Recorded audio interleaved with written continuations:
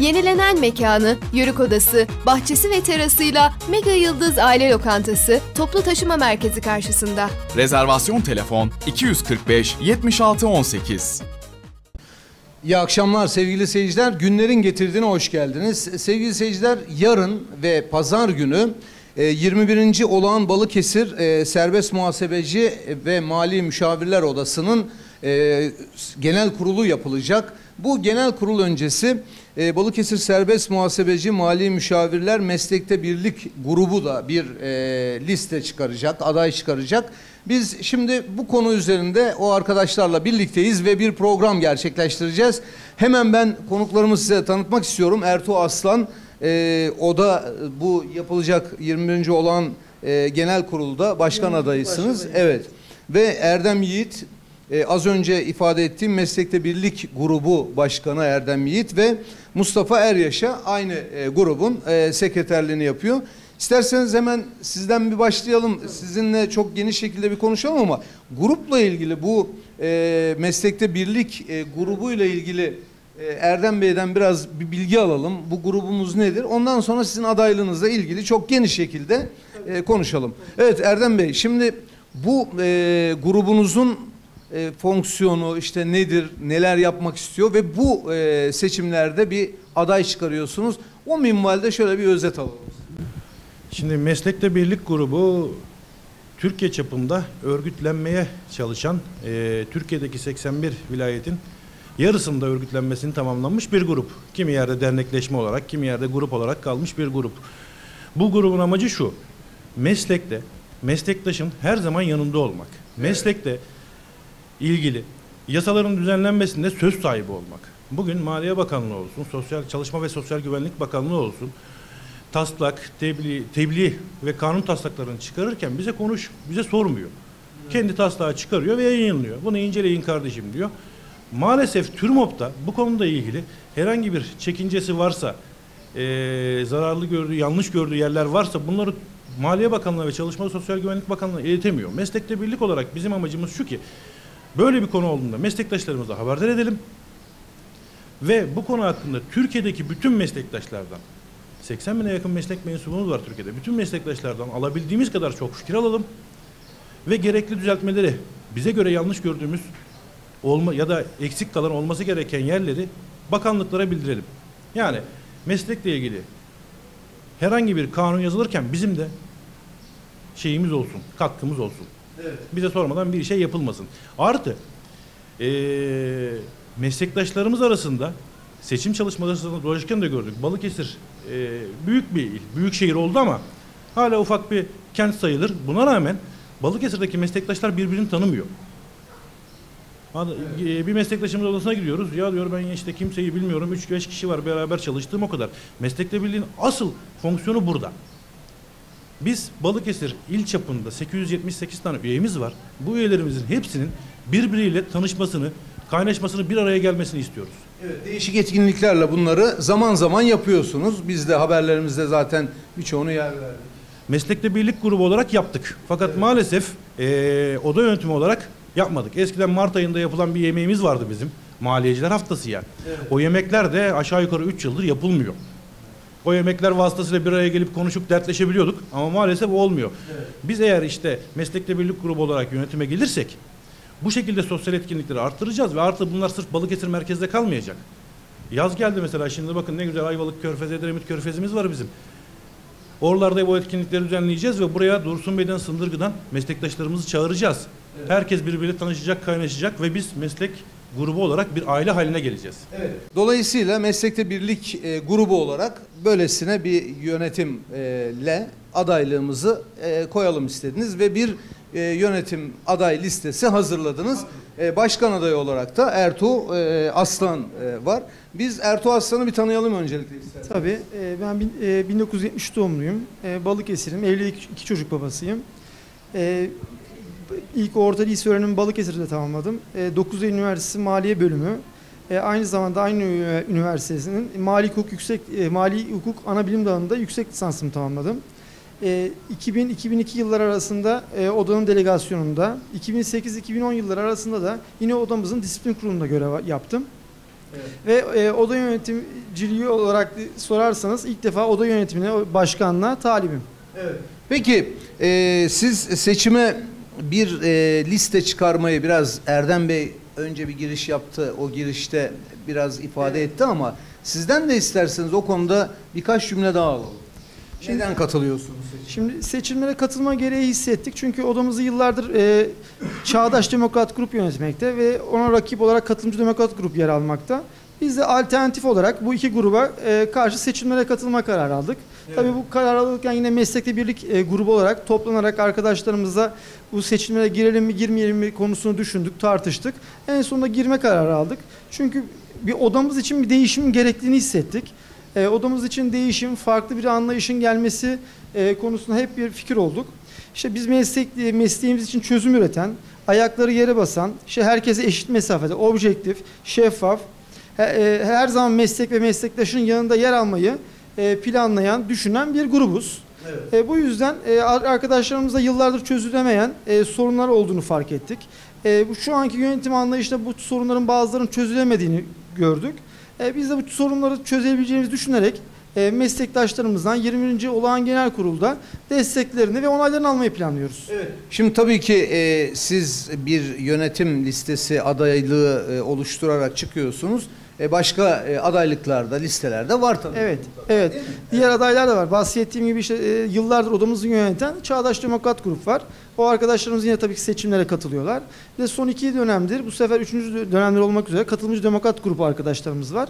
Onlar da kendine göre tabii listelerini yaptılar. E, Balıkesir il çapında çünkü seçimlere katılıyoruz biliyorsunuz.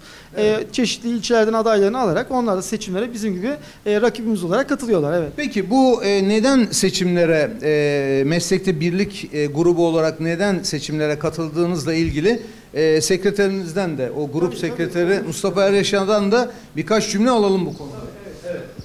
Bizler meslekte birlik grubu olarak seçimlere katılmamızın sebebi farklı bir anlayış, farklı bir yönetim tarzı get- geliştirmek. Odamıza daha iyi hizmet sunabilmek. e, meslektaşlarımızın sorunlarını uzlaşmacı bir tutumla çözmek. Resmi kurum ve kuruluşlarla iyi ilişkiler sağlamak. Ve bu sayede sorunları daha kolay çözmek için bu seçimlere katılıyoruz.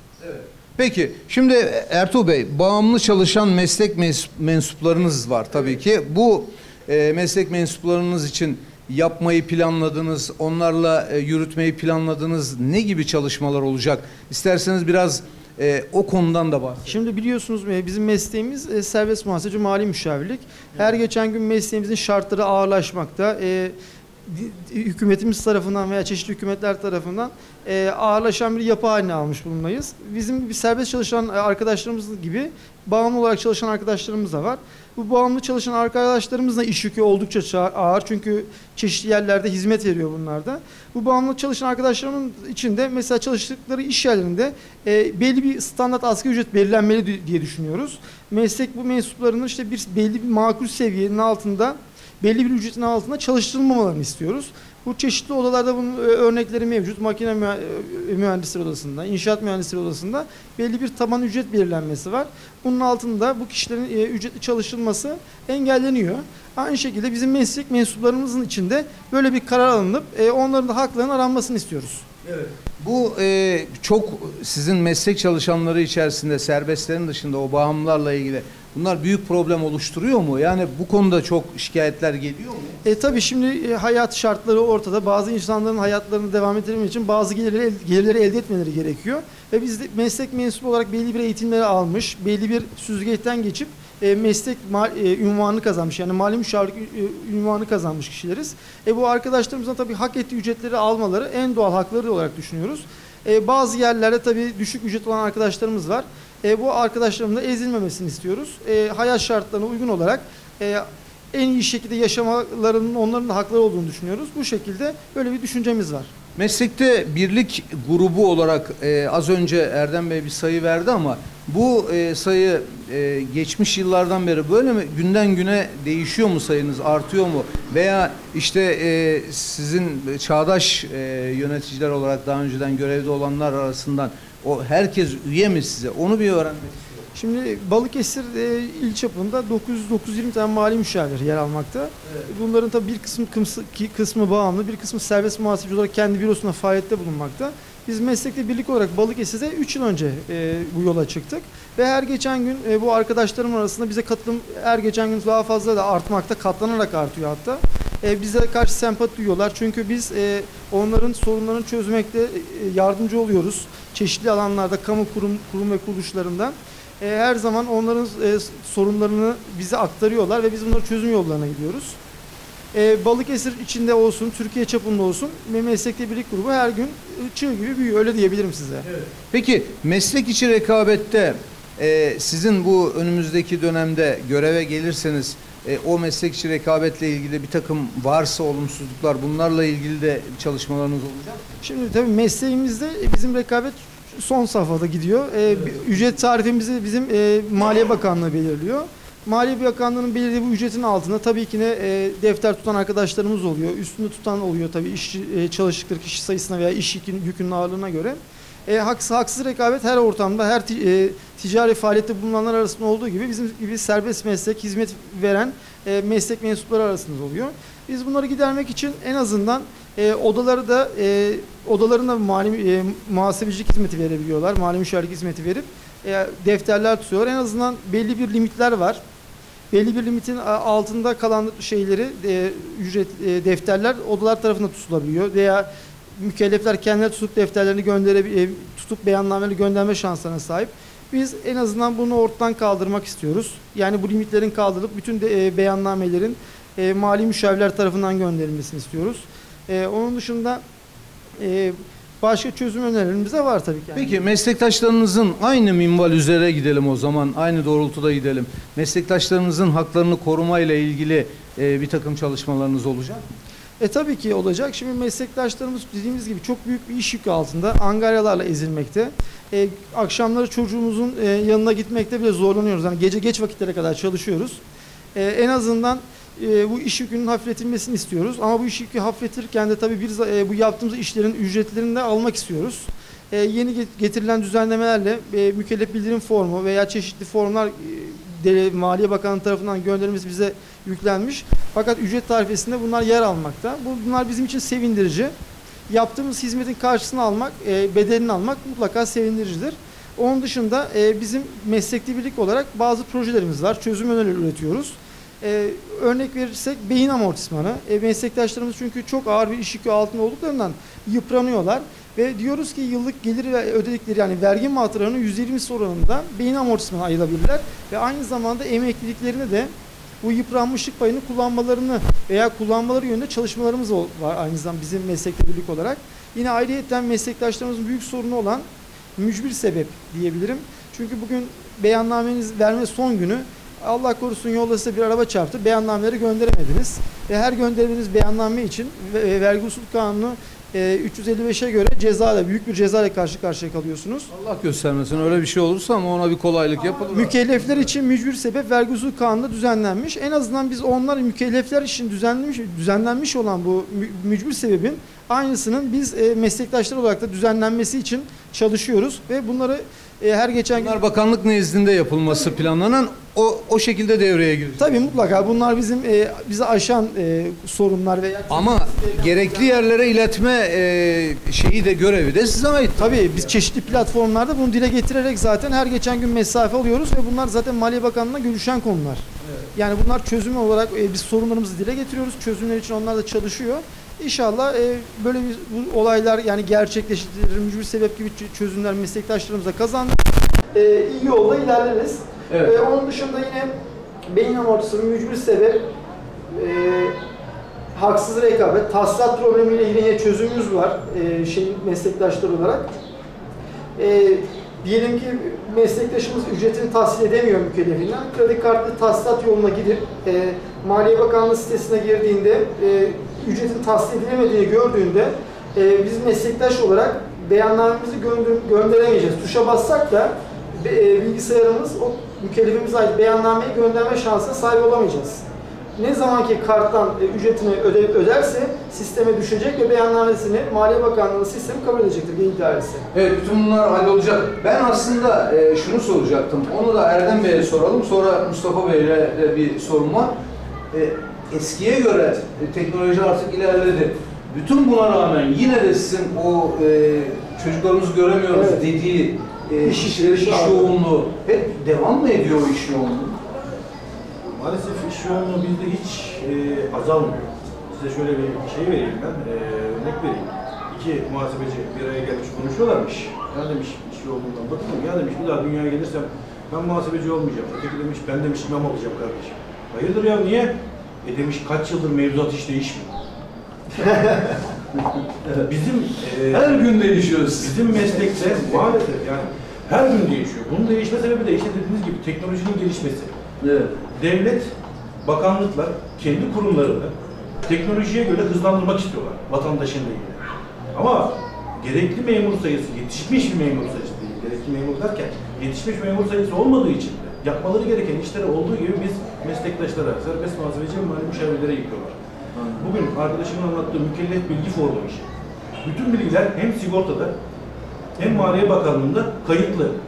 İki kurum bir araya gelip bu bilgileri toplayamıyor, bir araya getiremiyor ve diyor ki bizden siz bunları yükleyin. Otomasyon kurulmuş değil yani. Değil. Evet. Tabii bu da bizim yükümüzü arttırıyor. Bunlar hep süreç. E, yıl, ay içinde devam eden KDV beyannameleri, stopaj beyannameleri, sosyal güvenlik bildirimleri derken bir de üstümüze bunlar bindiği zaman bizim buradan eve giriş saatimiz şu yaz zamanında saat 8.30-9. E, çocuğumuzu alıp bir parka götüremiyoruz çünkü hava kararmış oluyor. Saat 10 oluyor zaten. Çocukların yatma vakti geliyor. Öyle. Evet. Peki teşekkür ediyorum. Bütün bu yük altında tabii ki sinirler geriliyor, stresler artıyor ve dolayısıyla meslek meslektaşlar arasındaki o birlik, beraberlik, dayanışma olgusunun gelişmesi de biraz alt planda kalıyor. Bütün bunları Meslekte Birlik Derneği yönetime e, oluştuktan sonra bunları arttırma çalışmaları da olacak mı Mustafa Bey? Tabii ki efendim. Biz mesleki birlik olarak yönetime geldiğimiz zaman meslektaşlarımızın bir araya gelmesi, kaynaşması için eğitim seminerleri olsun, geziler olsun, yemekler olsun. e, bu tür şeyler düzenleyeceğiz. Meslektaşın sorunlarını dile getirmek için e, oda bünyesinde birimler kuracağız. Meslektaş sorunlarını odaya iletecek ve çözümler bulacak. Bunun neticesi bizler daha faal bir hale gelecek. Odayla meslektaş arasındaki bağları kuvvetlendireceğiz. İletişimi biraz arttıracağız diyorsun. Aynen öyle. Peki şimdi e, son e, Şeyler son sözler tabii tabii bitmedi. Daha 3-5 dakikamız var. 3 dakikamız var. E, bu konuda bu konularda hem Mustafa Bey'in hem Erdem Bey'in söylediği konuların üzerinde eklemek istedikleriniz var. Şimdi ben şunu eklemek istiyorum. Ya e, bildiğiniz gibi biz 20. olan genel kurulumuzu yaşayacağız. Evet. E, bu genel kurulun demokratik ortamda e, meslek mensuplarını üzmeyecek şekilde e, e, katılan grupların karşılıklı anlayış içinde yer almalarını diliyorum. E, ve herkese hayırlı olmasını diliyorum. Evet. Peki şimdi yarın olacak bu. Evet. 21. e, olan e, genel kurul Evet. olacak. E, adaylar olacak, listeler olacak. Ama her şey e, Balıkesir'de bu mesleği yapanların daha e, işi, işinin Evet. daha kolaylaştırılması için Evet. değil mi? Evet, biz de işte o yüzden e, dediğimiz gibi ilk defa bir yola çıkıyoruz. İlk defa yola çıktık. E, meslek e, arkadaşlarımızdan değişime onay vermelerini istiyoruz. Çünkü biz daha farklı bir şeyler e, oda yönetiminde gerçekleştirebileceğimizi düşünüyoruz. Çünkü oda yönetiminin bugün yayınlamış olduğu bilançolara baktığımızda çok büyük bir e, ağır e, borçla karşılaştığını veya zararla odamızın yönetildiğini fark etmekteyiz. E, odamızın binası şu an bizim için baktığımızda bilanço itibariyle söylüyorum, gider üreten bir yapı durumunda hiçbir gelir üretmemektedir. E, büyük yani bu bir saatli bomba gibi e, seçimler sonrası yönetime hangi arkadaşımız gelirse biz veya başka grup hani kucağında saatli bomba var. Bu nasıl aşılacak, nasıl yapılacak? Tabii mutlaka seçimler sonraki oluşan yönetim bunu çözecektir. Bir formül bulacaktır. Çünkü bu süreç böyle devam ederse odamız 3-4 yıl içinde çok büyük bir e, borç yükü altında kalacaktır. Evet. Bunun bir an önce halledilmesi lazım. Mutlaka halledilmesi lazım. Evet. E, yönetime gelecek olan tabii arkadaşlarımız aynı zamanda başarılar diliyoruz bu olayın çözümünde. Evet. Peki e, size kolay gelsin diyoruz. Başarılar diliyoruz. Ertuğ Aslan, Erdem Yiğit ve Mustafa Eryaş'a e, şimdi 21. olan e, Balıkesir Serbest Muhasebeci Mali Müşavirler e, Genel Kurulu öncesi e, siz de meslekte birlik grubu olarak bir liste oluşturdunuz ve yapacaklarınızı, neler düşünüyorsunuz aktardınız. Size kolay gelsin diyorum. Başarılar. Sağ olun. Biz de sizlere teşekkür ediyoruz. Başarılar diliyoruz. Sevgili seyirciler böylelikle bugünkü programımızın sonuna geldik. Sizlerle tekrar birlikte oluncaya dek hepinize iyi akşamlar diliyorum efendim. Hoşçakalın.